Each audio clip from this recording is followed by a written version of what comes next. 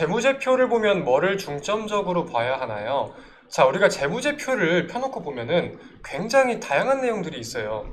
간단하게 그냥 HTS 상에서 한번 우리가 한번 살- 살펴볼게요. 자, 제가 아까 중장기 종목들에 대해서도 말씀을 드렸는데 우리가 중요시 여겨야 되는 부분들 당연히 굉장히 많을 거예요. 재무제표 상에서 매출액, 영업이익, 순이익 체크를 해야겠죠. 그리고 같이 살펴봐야 되는 게 매출액과 영업이익이 모두 증가를 하고 있다. 당연히 즐겁고 반가운 일이지만 저는 좀 중요하게 생각을 하는 게 수익성이에요. 수익성. 왜? 매출액은 2021년도에 100억이었는데 영업이익은 50억이었어. 그리고 2022년도에 매출액은 150억으로 50% 올랐는데 영업이익은 60억이야. 그럼 총 20%밖에 안 올라갔어. 전년 동기 50%, 이건 20%. 그러면은 매출 대비해 가지고 영업이익은 덜 올라갔다. 수익성이 떨어졌다라는 것을 생각을 할 수 있겠죠. 저 같은 경우는 수익성이 좋아지는 기업들을 좋아해요. 수익성이 하락하는 기업보다 수익성이 올라가는 기업. 그러니까 매출액 대비해 가지고 영업이익과 순이익이 올라가는 기업들.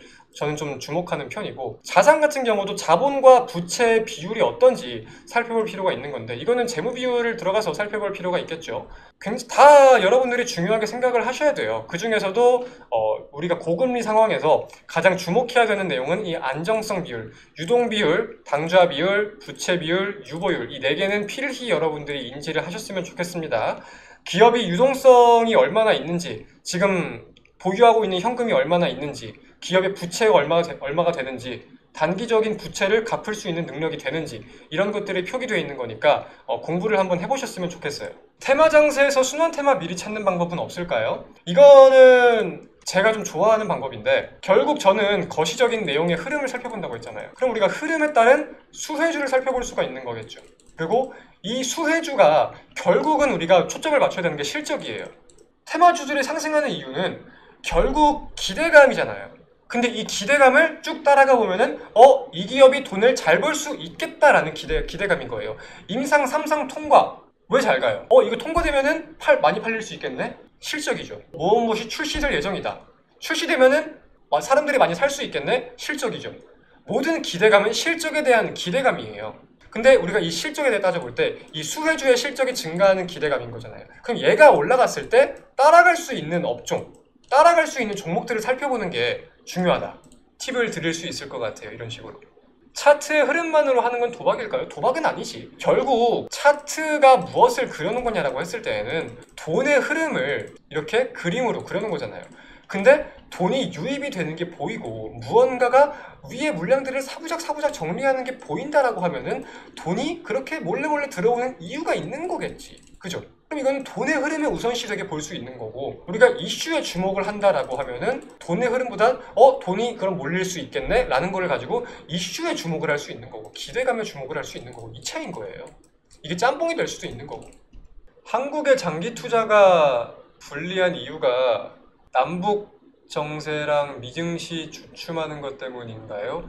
한국이 장기 투자에 불리한 이유라 일단 국내 증시 같은 경우는 원래 옛날에도 급등락이 좀 컸었어요. 그래가지고 상한가 제도를 도입을 했죠. 상한가 제도를 도입한 내용도 있고 국내 증시 같은 경우는 미국에 비해서 이 환원 비율, 회사의 환원 비율이 좀 노- 좋지 못한 편이라서 장기 투자에 적합하지 않다라는 말들이 많아요. 미국과 배당 수익금을 비교해 봤을 때 한국보다 미국의 배당 수익률이 월등히 높은 점에 대해서 따져볼 수도 있겠고 이제 한국 증시에 아무래도 선진국이라기보다는 신흥국이다 보니까 급등락에 대해서 흔히 뭐 세력 그리고 외국인들도 그렇고 이런 내용들을 봤을 때 장기 투자하기에 안전하지 못한 내용들이 있다. 이러면서 장기 투자할 거면 미국에서 하라 이런 말들도 있죠. 정답은 아닙니다. 사람들의 관점 차이인 거지. 개인 외국인 기관들의 수급으로 무엇을 판단할 수 있는지 궁금합니다. 대체로 외국인이 연속 매수하면 오른다고 알고 있는데 꼭 그렇지는 않을 때도 있고요. 결국은 우리가 따져봐야 되는 게 매수, 매도. 자, 따져볼게요. 만약에 개인들의 반대 매매가 엄청 나와요. 개인들의 반대 매매가 엄청나게 나오는데 이걸 담는 사람들은 저가 매수로서 외국인 기관이 저가 매수 형국으로서 막 하한가에서도 담고 어디서 담고 담아요.